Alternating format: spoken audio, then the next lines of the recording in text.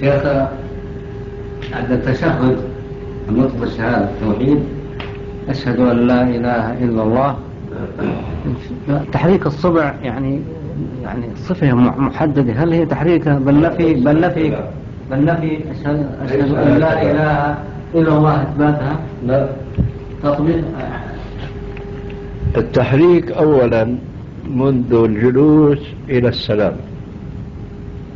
منذ الجلوس للتشهد أي من أول ما يقول التحيات لله إلى آخره إلى أن يقول السلام عليكم. من أول أي كيف لا؟ هذا أولا ثانيا التحريك ليس يمينا ويسارا هذا انحراف عن القبلة. وفي الأحاديث الصحيحة أنه كان يشير بإصبعه إلى القبلة. القبلة هكذا فما يعمل هكذا إنما يوجه هكذا. فإذا التحريك يكون خفضا ورفعا قليلا. وعاني قليلا يعني ما يكون هكذا كما يفعل البعض. هذا خفض ورفع لم يرد. وإنما ورد حديث وائل بن حجر قال فرأيت رسول الله صلى الله عليه وسلم يحركها. يدعو بها. فإذا التحريك هكذا وليس هكذا. ملازم من الجلوس من أول الجلوس إلى السلام. هذا يقتضيها الحديث.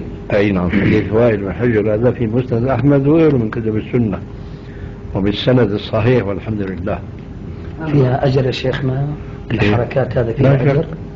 كل حركة عشر حسنات لأنه أقل أقل عمل في الإسلام طاعة لله واتباع لرسول الله عشر حسنات.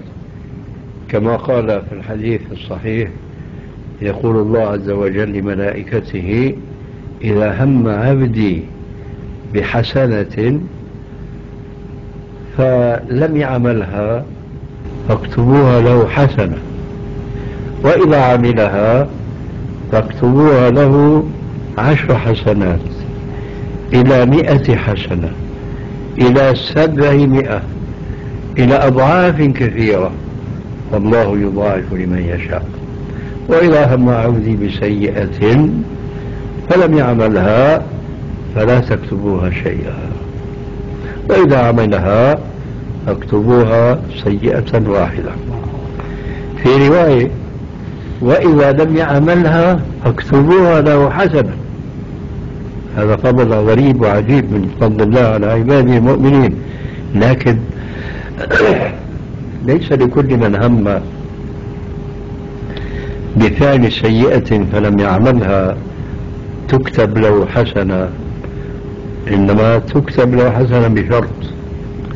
جاء ذكره في الحديث وإذا هم عبدي بسيئة فلم يعملها فاكتبوها له حسنة فإنما تركها من جرايا واضح؟ تركها لله أي خوفا من الله. ففي هذه الصورة انقلبت السيئة إلى حسنة. فإذا المسلم صلى وحرك إصبعه اتباعا لرسول الله الذي قال صلوا كما رأيتم يصلي فلا شك أن له على ذلك حسنات ولذلك جاء من الإمام أحمد أنه قال يحركها كثيرا. أنا قرأت كتاب صلاة النبي نعم. صلوا كما رأيتم يصلي وجدت هذا ولكن زيادة من الاستفسار بارك الله فيك. وقرأت فيها أنه يحركها بشدة رواية أحمد يحركها إيش نبضه شديدا شديدا. اي نعم. ولكن ليس هكذا وإنما هكذا. أن يقولون أن يحركها اليمين والشمال. لا هذا انحراف عن القبلة. وفي الحديث. لا إلى نفي. نفي؟ ما لا هذا هذا اجتهاد بالرأي وهنا في عدة مواهب.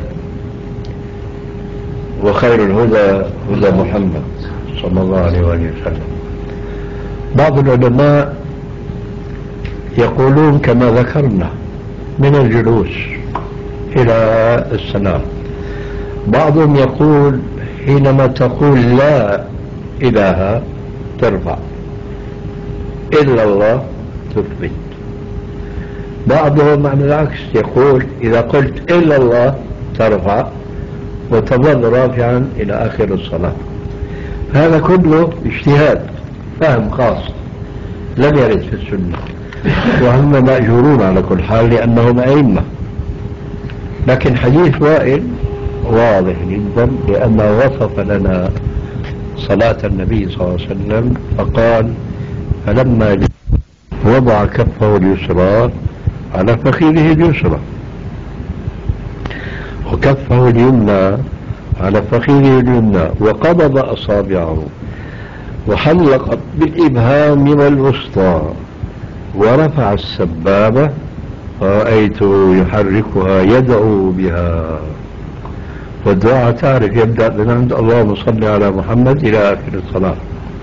يا شيخ ألا يكون أنه يصح أن يكون إلى أعلى وإلى أسفل أو يمين وشمال يحركه كيف؟ هذا التحريك يعني.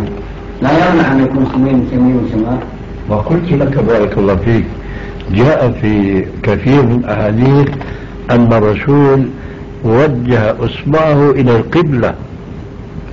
فأنت إذا عملت هكذا أو هكذا انحرفت بها عن القبلة. فهذا ضد السنة. نعم. أنا نستاذن هذا مرحبا.